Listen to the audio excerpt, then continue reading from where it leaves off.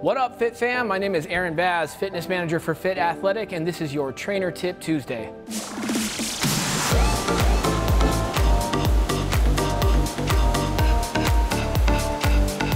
For this week's Trainer Tip Tuesday, I'm gonna show you how to make a TRX out of a flat old bed sheet that you have at home. Um, very simple, guys. Um, TRX is good for body weight exercises where you're using gravity to build strength and stability um, throughout the entire body. Um, so, you know, you could buy a TRX online and that's the official suspension trainer, but you can also make a makeshift one if you don't have an extra 150 bucks or if Amazon is delivering two months from now. So what I want you to do is take your flat bed sheet. Um, it can be any size, twin, all the way up to Cal King. Cal King might be a little bit better just because it's a little longer, um, but I have a full bed sheet right here and uh, that will absolutely suffice. So really simply, what I want you to do is sort of take the bed sheet, bind it up just like this and sort of twist it up at the end, okay?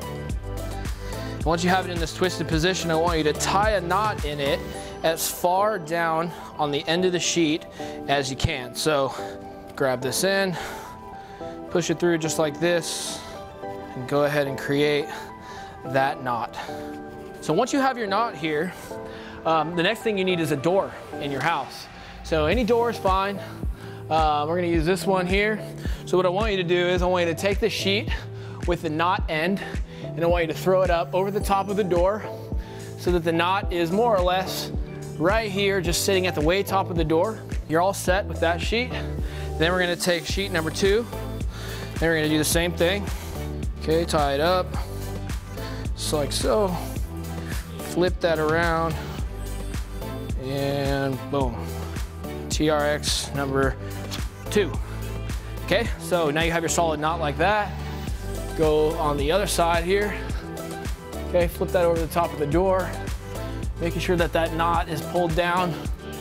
Now before you close the door, reach up here, spread the sheet out just a little bit so it can fit underneath the door jamb, and then boom, voila. Door is closed. Make sure it's secure, and then you're all set. So now, just kind of grab on the ends of the sheets right here and pull these tight so that those knots come down and they have no way to come down. So now as you guys see, it's totally secure, right?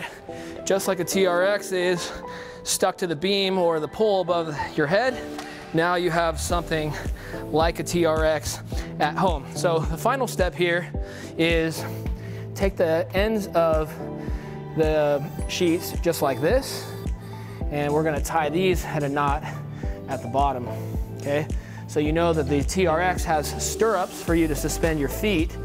Um, so to create that, we're gonna tie a knot here as well so that we have a loop to suspend our feet. Now you can see with this full size sheet, maybe it's a little bit too high to suspend our feet. That's why I think a Cal King would be a little bit better. All right, cool. So now you've got your knot at the bottom and you can see you have a place to be able to suspend your feet.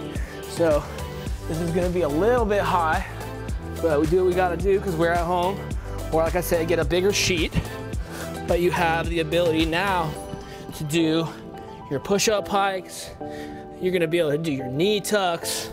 You're gonna be able to do other exercises where your feet are suspended. So now that you have your makeshift TRX, be sure to have it handy because tomorrow for your workout Wednesday, we're gonna be doing a TRX workout. So thank you guys for tuning in. Be sure to subscribe to this channel if you like these videos.